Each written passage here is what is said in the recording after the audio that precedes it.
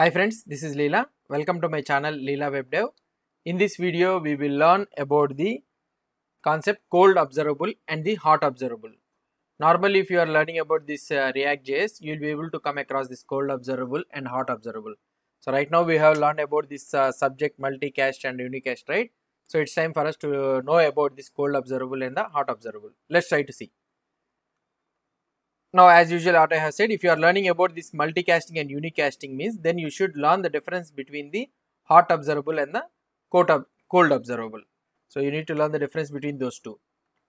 Most of the observables we learned so far up to now is the cold observables only. Let's see the cold observable first. So, that means up to now what are the observables we have learned so, uh, till now in our course. Those are all comes and those are all cold observables itself. So, now first what is this cold observable? Let's try to see. In cold observable, the value which produces is created inside the observable.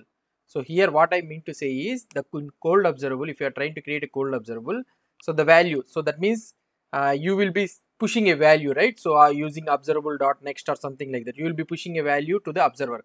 So that means the value is created, produced and everything inside the observable. So that means inside the callback function, we will be writing that observer function, right? It will be created inside the observable. So that is that is the thing that I am trying to tell you. In the cold observable, the value which you are trying to create is created inside the observable. If the observable produces series of integers, so for example, you let's assume that if you have an observable and that observable it is producing a series of integers something like 1, 2, 3, 4, 5 like that, okay. It means that integers are declared, created and also produced inside the code that defines an observable. So that means if you are, the observable is sending a series of integers means the integers, the numbers, whatever you are creating are declared, created and produced, everything is happening inside the code that defines an observable, okay. Each time the subscribe method called on the cold observable, the integers code is executed every time. So we have, we have already understood this one. So each time the subscribe method, so when we are calling the subscribe method for an observable, so the cold observable in the for a cold observable, the integers code, the whatever the code you have written to generate the integers, right? It will be executed for every time. So that type of executors, one observer is executed each time. So that means if you are having a subscribe method for an observer, so that will be executed, and every time another observer be, another observer came means it will be executed another time. So that means one observer is executed each time. So this is all this is known as the unicast. Okay, this is known as unicast for us. So this means cold observable pushes values to single observer at a time. So as we understood about the unicast, so that means cold observable pushes values to single observer at a time. So that means cold observer can only can only send values to single observer at a time. So to only send the values to a single observer at a time. Examples of the cold observables are the RxJS create functions like interval and the Ajax.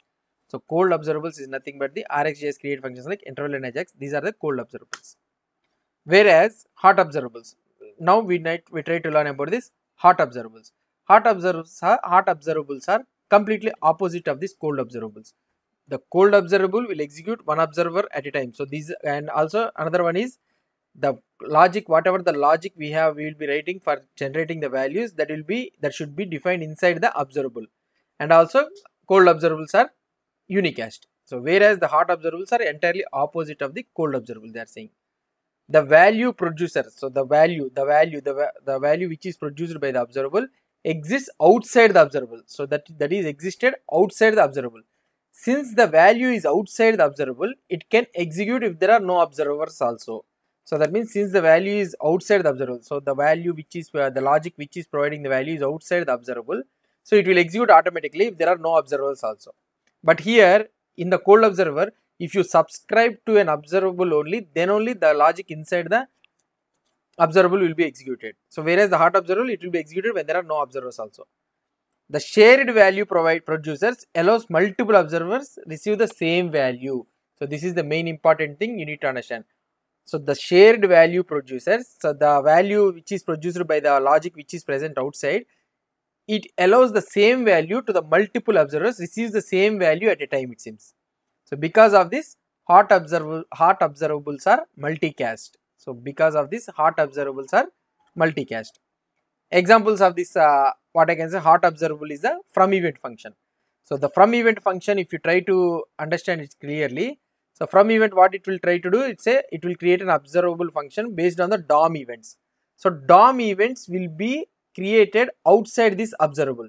So if there is no observable or anything also DOM events will be created in the DOM. Okay, when these DOM events are created, this from event will take that value from the DOM event and it will wrap the observable to that one and it will send it to us. So this so that means from event is an hot observable. So this is the thing we need to understand. Sometimes we need a scenario in a such a way that we need to turn the cold observable into an hot observable. Okay. So that means we need to turn this cold observable into an hot observable. That means what I can say is cold observable is nothing but it's a unicast and it, the logic will be written inside the observable. So these observable we need to convert it into the hot observable. So in order to convert the cold observer into hot observable, subjects play an effective role in converting the unicast cold observable to the multicast hot observable. So this is the main thing you need to understand.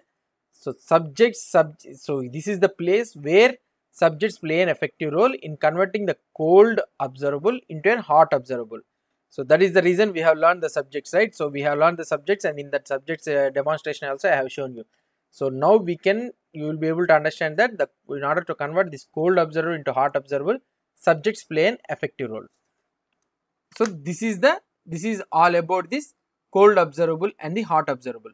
Hope you understood about this cold observable. So the main things what you need to remember is cold observable are the, the one only one thing blindly what you can remember is cold observables are the unicast okay?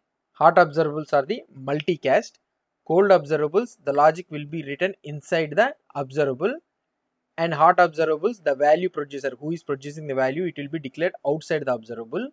And another one cold observable will send data uh, will will send will push the values to a single observer at a time so it cannot push the values to multiple observers at a time. Cold observable cannot do that one. Cold observable executes the logic and it will send uh, values to single observer at a time. Whereas the hot observables what it will try to do?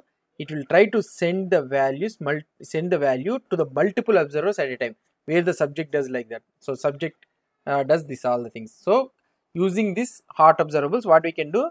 The value is provided outside the value is uh, created outside the observable right? So that is the reason so observers if you have multiple observers the hot observer send the same value to multiple observers at a time.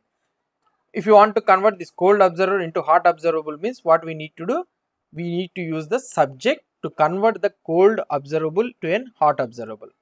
Hope you understood about this difference between cold observable and hot observable. So in the next video what we'll try to do is we'll try to see the demonstration. So uh, how what is a cold observable and how we can convert this hot observable. We'll try to see that one in the practical implementation so if you have any doubts or any suggestions please post the comments below to this video. And if you like this video please do support me by subscribing to my channel. Thank you